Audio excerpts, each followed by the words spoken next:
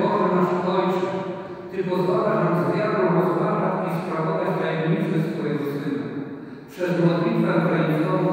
umacniaj naszą wiarę, abyśmy razem z Maryją, Matką Jezusa, rozważali w sercu Jego tajemnice radosne, światła, bolesne i chwalebne, starali się